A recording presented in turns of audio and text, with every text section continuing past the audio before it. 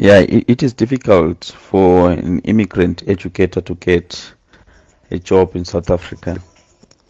Uh, the first part is that the educators uh, they have to register with the SAQA, then also register with SES. Then for one to register with SES, uh, the educator must be employed.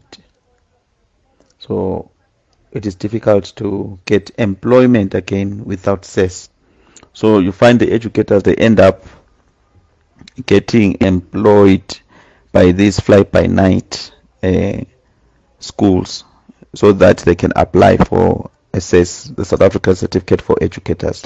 After getting SES, then one can try to get to a government school.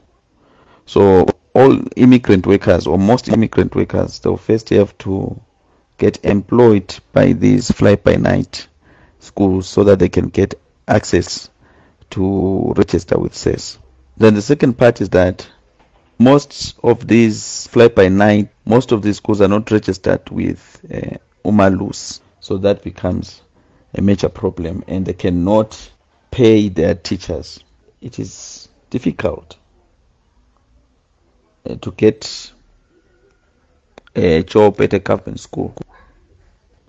And when you're at a private school, and most of these private schools are owned by immigrants themselves who understand the situation and who know that the immigrant educators are desperate and it will be difficult for them to protest or engage in other uh, activities or to contest the, their treatment at the schools.